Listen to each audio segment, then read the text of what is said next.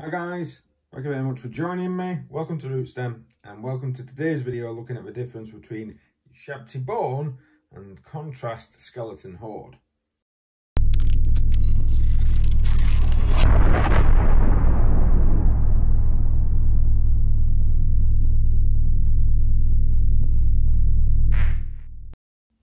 Now one of the reasons I'm looking at these two particular paints today is to see whether or not better to use one instead of the other in certain circumstances. And the reason for that is because I'm currently painting some, I like to paint batches of different models all together to keep my eye in to make sure I'm not getting bored of a particular type of figure. I'm currently painting some Chaos Warriors, some Iron Warriors, and I'm painting some Dark Angels. Some of you may argue that Dark Angels are already Chaos Warriors. That's by the by.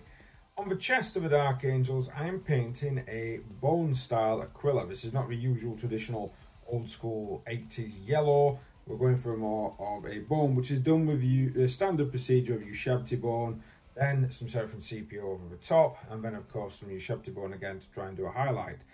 On the Chaos Warriors, I've been using Contrast Skeleton Horde, and the reason I've been doing that is because I'm trying to get through more figures quickly.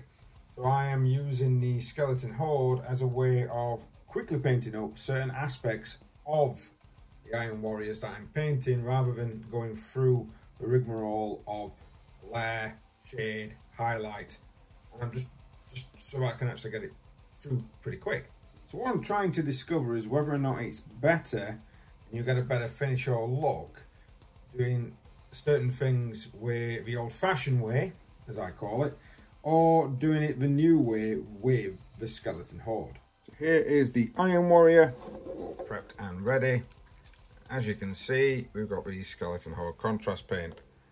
So apply liberally, although in personal experience, don't apply too much, otherwise it doesn't. When I'm applying contrast, I always kind of grab a bit and then go into what I need it to catch. So if there's a bit of a, a lip there as an example, it's like, don't just pour it on too much. You're wanting the brow to have some of the contrast on it. So I'm, I'm working against it. So I'm kind of moving the brush to make sure that it's leaving the deposits in the recesses and then taking it down a little. And quickly if it's too excessive removing what I need it to remove. Now I don't remove too much. And you've got to be quick. Some contrast paints are quite slow drying. Some are very very fast. So for the Dark Angel we've got the Ushabti Bone already painted on there I'm going to go with some Seraphim Sepia Wash. Again we're kind of doing the same thing. We want to push the wash into the recess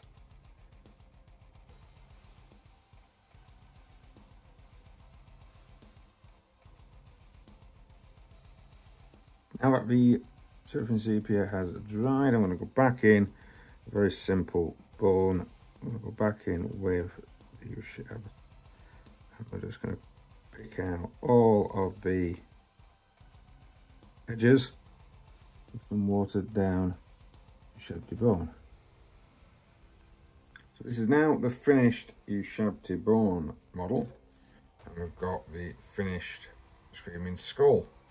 And don't really see much of a difference. This one looks a little, a little bit muckier, and this one, of course, itself seems to shine through with a bit more of the detailing. The fact that I've gone back over it with the Ushabti bone makes it look a little brighter.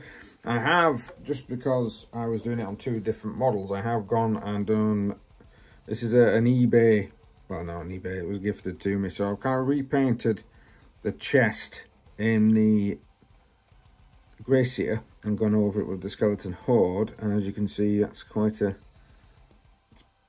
bit of a not too much of a difference if I can get closer to the actual camera on this, hang on.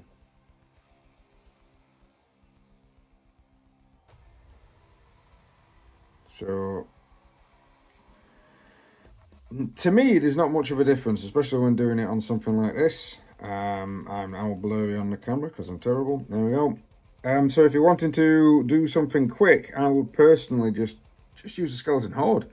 Um, I'm kind of trying to go through a lot of figures at the moment, so doing finding little cheats, little hacks, it's always great. As you can see, I've already painted up the shoulder pad ready for some yellow, and the eyes I've already done with some grey here, mainly so I can actually do some red lenses on there because I quite like the look of the how it, it gives it a little bit of a sort of like red shine underneath. It's quite good. It's quite nice looking. Um, I should hopefully should be able to show you on if I grab a Iron Warrior. Bring him in.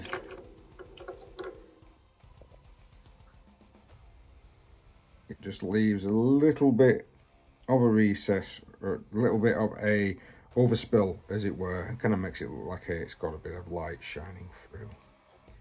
Well, thank you very much for watching that, guys. It wasn't, it's not the longest of videos. It's just something quick and easy, just so I could have a look at the difference between two methods, as it were. I don't always go for a pure contrast method. I don't always go for a pure layering method. I don't always go for a pure um, airbrush method. I like to mix it up.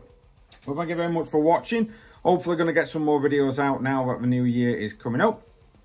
And uh, we will see you next time.